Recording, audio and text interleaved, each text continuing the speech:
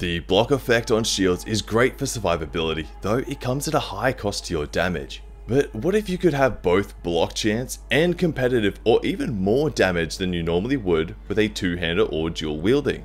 We can achieve this by making use of the shield's damage stat. Rather than having a flat damage number like a focus would, it increases your main hand damage by 80% instead. Knowing this, we can bridge the damage gap between shields and weapons by having very high damage on that main hand weapon. To do this, we can kill certain rare spawns in the world that will always drop the same weapon. These special items have a trade-off. They come with 3 stats instead of 4, but in return they can roll much higher item level than what is possible for normal gear. The sell value on these items is also extremely low, which means we can re-roll their stats as much as we like.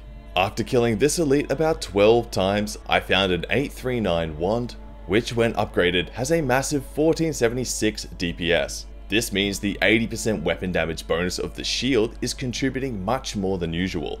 With my current two-hander, I have 9508 damage, and with the wand and shield it only drops to 9423. If I equip a similar item level one-hander to my current scythe, my attack power drops all the way down to 7791. This goes to show just how well the rare spawn weapons work with the shield damage bonus.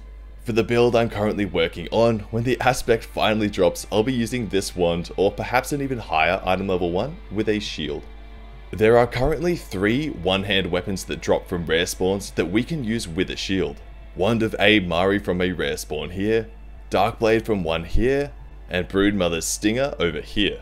They seem to respawn between 1 and 15 minutes, so you can sit there and farm it if you like, or just swing past that spot every time you finish a dungeon, go to a side quest or whatever else.